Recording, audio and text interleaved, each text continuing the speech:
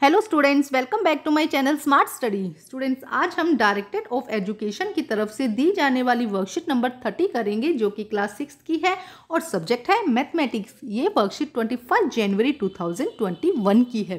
तो आइए शुरू करते हैं आज की वर्कशीट वर्कशीट शुरू करने से पहले प्लीज़ मेरे चैनल को सब्सक्राइब कर दीजिए.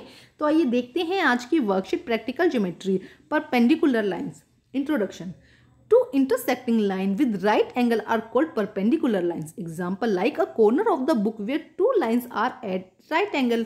देखो, क्या कहा गया है इंटरसेक्टिंग लाइन कौन सी होती है कि ऐसी लाइन जो आपस में एक दूसरे को कट करे जैसे कि अगर हम इस तरह से कोई भी लाइन बना रहे हैं तो जो एक दूसरे को कट करती है, उन लाइन को हम क्या कहते हैं इंटरसेक्टिंग लाइन तो जब दो लाइन आपस में एक दूसरे को कट कर रही है और उनके बीच में राइट एंगल बन रहा है नाइन्टी डिग्री का एंगल बन रहा है तो उन लाइन्स को हम क्या कहते हैं?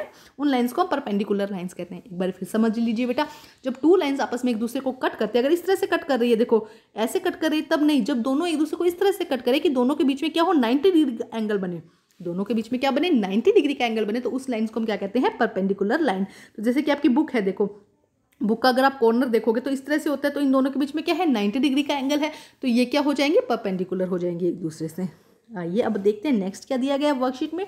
To draw perpendicular line with a help of a ruler and set square set square और रूलर की सहायता से परपेंडिकुलर लाइन को ड्रॉ करना सीखते हैं। तो देखो, सबसे पहले क्या करेंगे, हम एक लाइन ड्रॉ करते हैं। हमने माना ये लाइन है पी इस पर कोई भी एक पॉइंट ले लीजिए, आप हम ले लेते हैं, एक पॉइंट हमने ले लिया पी ठीक है?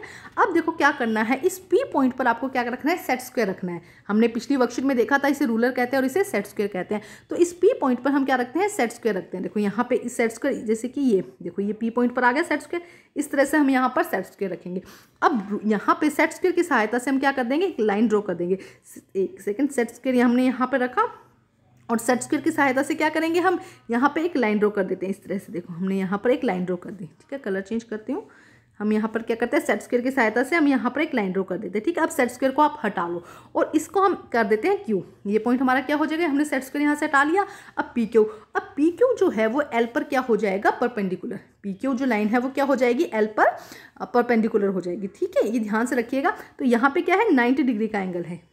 ठीक है? तो देखो, एकदम इसी तरह से हम यहाँ पहले स्केल से हम लाइन ड्रॉ करेंगे, उसके बाद में सेट स्केयर देखो यहाँ पर दिया गया है। देखो, पहले क्या किया गया? स्केल रखा गया आपने लाइन मेजर कर दी, जितना भी आपको लाइन दिया, फिर ये जो सेट स्केयर है, उसे रखकर आप इजीली इसको कर सकते हैं। आइए नेक्स्ट देखते हैं। नेक्स्ट थोड़ा सा इंटरेस्टिंग है बेटा।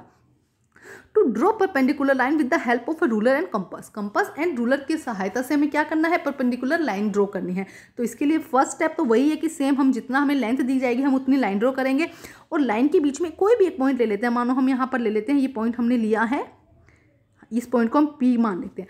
अब आप कंपास को एक थोड़ी सी लेंथ उसकी खोलिए। मतलब उसको थोड़ा सा ओपन करना है, एक साइज़ उसको फिक्स रखना है। बार बार में चेंज नहीं करना है, ये बात मैं आपको बता देती हूँ कि एक बार जितना आपने खोलिया जब तक आप 90 डिग्री का एंगल नहीं बनाएँगे तब तक आप, जब तक ये आपका पर परपेंडिकुलर लाइन नहीं खींचेंगे, उससे पहले आप उसे चेंज नहीं करेंगे। तो आपको क्या करना है, यहाँ पे जो कंपस है, उसका तीखे वाला पार्ट यहाँ पर रखना है और एक आपको क्या करना है, यहाँ पे सेमी सर्कल खींचना है। देखो, इस तरह से आप एक सेमी सर्कल खींचेंगे। ये समझ में आया? यहाँ पे आपने जो कंपस है, उसका तीखे वाला पार्ट रखा और यहाँ पे पेंसिल वाला पार्ट और इस तरह से आप इसको घुमा देंगे तो क्या बन जाएगा ये सेमी सर्कल अब आपको देखो क्या करना है, ध्यान से समझो बेटा। जितना कंपस आपने खोला हुआ उसका साइज़ वही रखना उसके साइज़ को चेंज नहीं करना।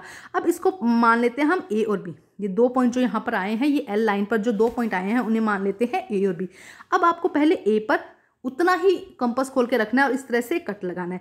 फिर आपको बी पॉइंट पर उतना ही कंपस खोलते हुए कट लगाना है। एक बार ध्यान रखेंगे ए और बी और पी जब आपने तीनों टाइम पे कंपस लिया है, उसका साइज़ जितना आपने ओपन किया था, उतना ही रखना है चेंज नहीं करना।